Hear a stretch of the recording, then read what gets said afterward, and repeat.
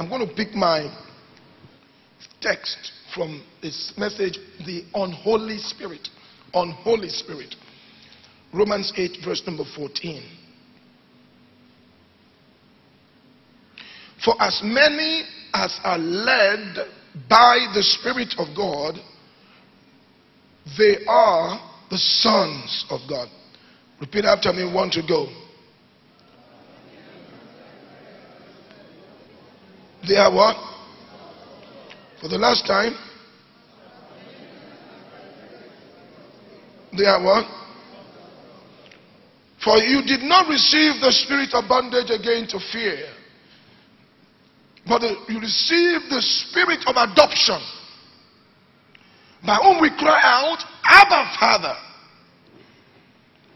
The Spirit Himself bears witness with our spirit that we are the children of God. So we have two spirits there the Holy Spirit and the human spirit.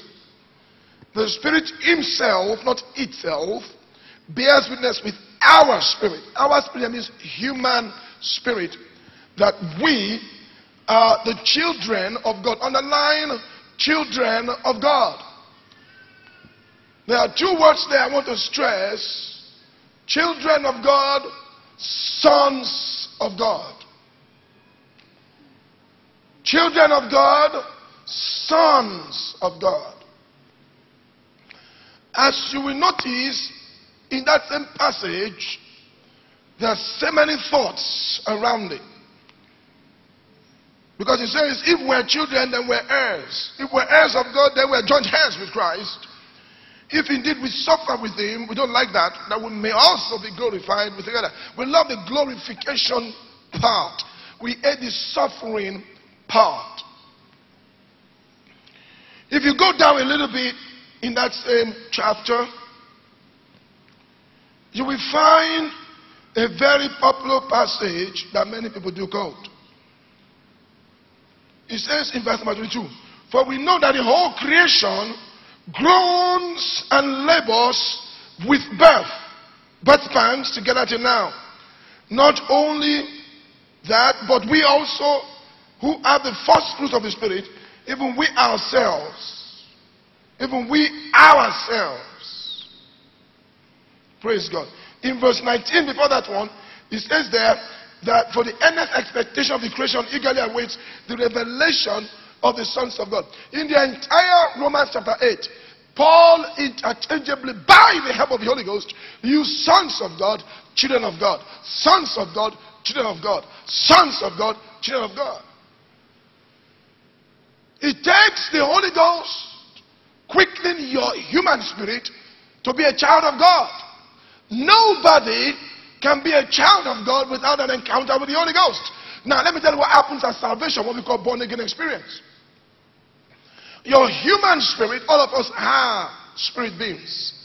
But not all, of, not all of us have been quickened by the Holy Ghost. Now, when the Holy Ghost comes into the, your human spirit and quickens, what quicken means to put life.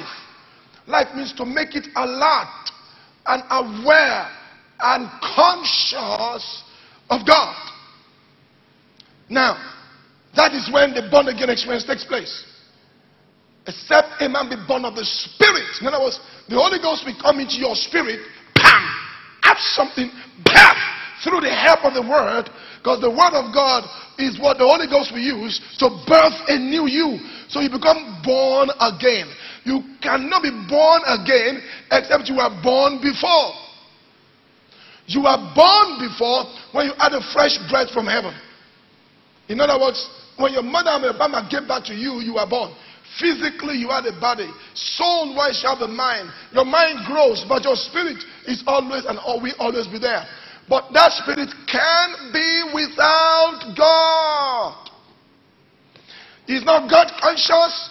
So that's why when you commit certain sins, it's lifestyle, it's normal.